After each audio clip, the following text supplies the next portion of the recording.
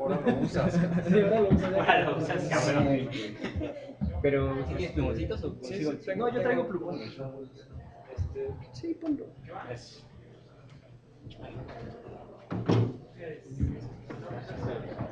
No, es chiquito. Sí, porque los señores se van a comer dos horas. Ah, y llegan a las Este. Bueno, pues ya podemos empezar. Ya, eh, y el señor, oye, ¿le puedes enseñar al señor Iván que no llega? Ah, ¿le que le hable por teléfono? Sí. Ya, vamos a- Sí, bueno, son 4-4. Pues es que más bien el tiempo se va a acabar de- de- en chinga, güey. Ya, ya, ya.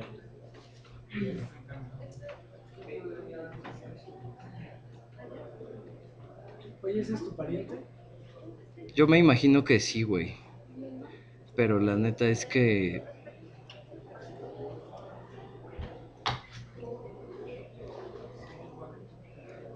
Ha de ser andaluz. Son andaluces esos güeyes.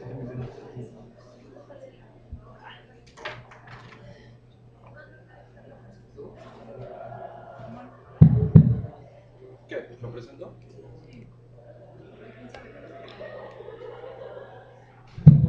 ¿Qué digo? Este. Lo que quieras. Este, son muchos conocidos. No, no sé, o sea. Pues presentación, métrica, versificación. Ya yo haré las aclaraciones. Me voy a bajar. Ya, empezamos. Sí. Buenas tardes, bienvenidos a el taller que va a impartir nuestro compañero Alexis Rivera Luque de métrica y versificación latina. Los dejo con él. Eh, sí, se oye. Se oye bien. Bueno. Este. Bueno, un, un par de aclaraciones. Esto no puede ser un taller porque no nos da tiempo, ¿no? Si nos diera tiempo, pues podríamos hacer un taller muy bien. Pero la verdad es que en una hora explicar y hacer un taller no se puede.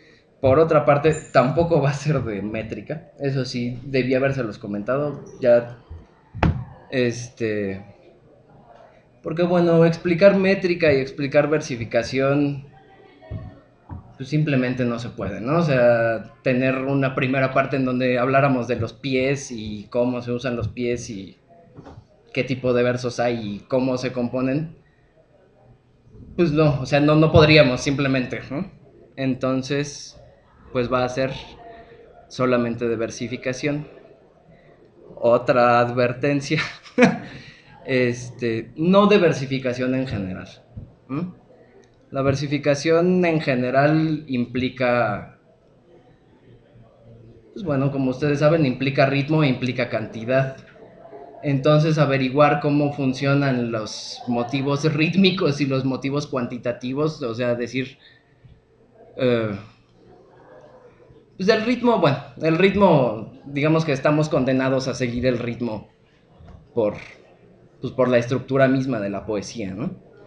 Pero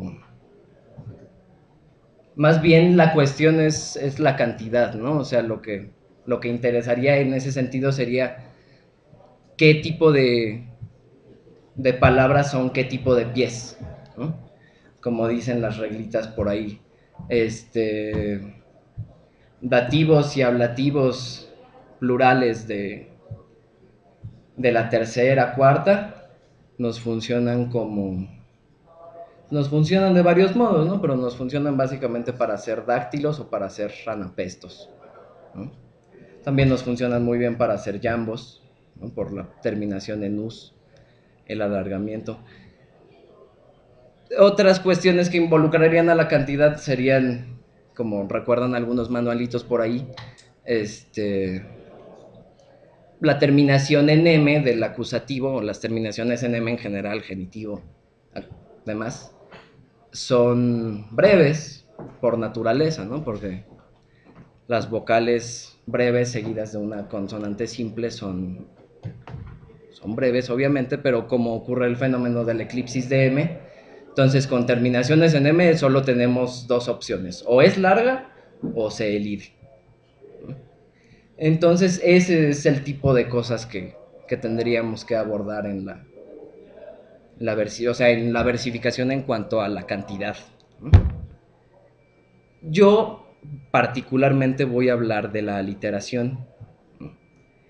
Y ese es el tema. Finalmente, la- yo tenía preparada una ponencia acerca de la literación como, como método de versificación. Eso, sí, una vez que uno se ha enterado un poquito de, de la bibliografía, ya es aventurado por sí mismo, ¿no? Porque, porque muchos autores notables han, han estado en contra de, de la literación. Hay, hay gente que llega a afirmar que, que el latín y el griego son lenguas totalmente...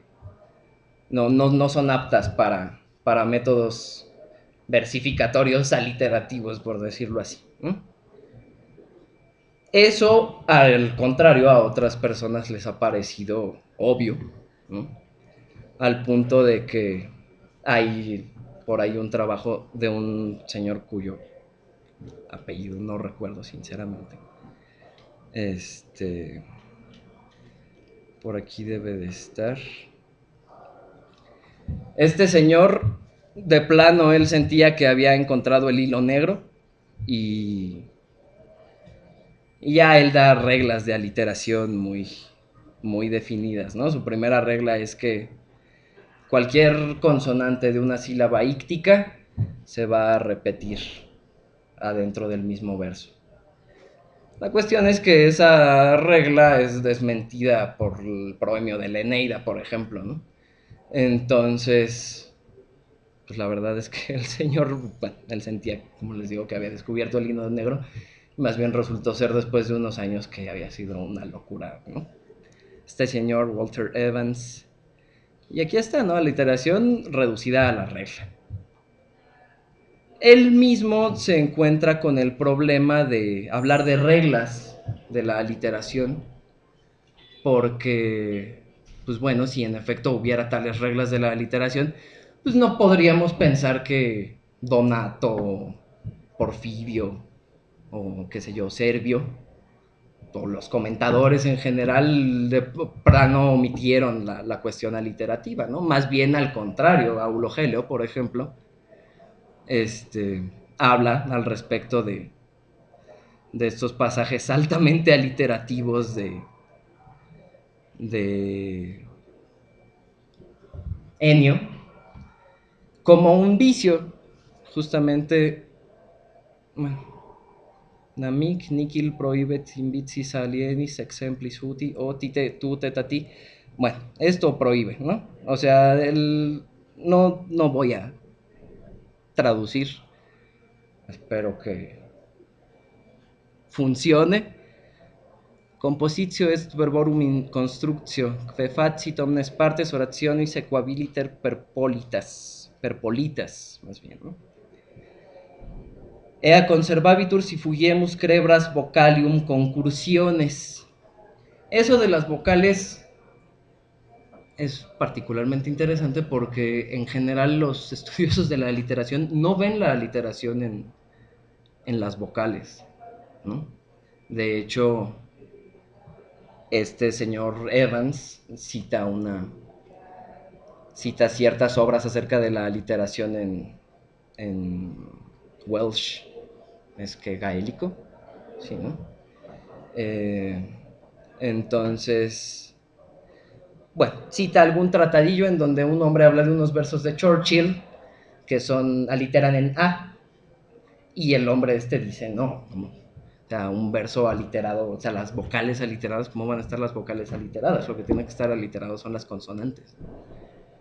Entonces, en cambio aquí este señor habla de las vocales, ¿no?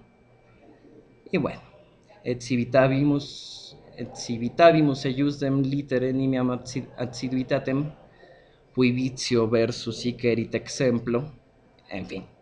Esto hace, ¿no? O sea, esta, este tipo de aliteración es, pues, no vamos a decir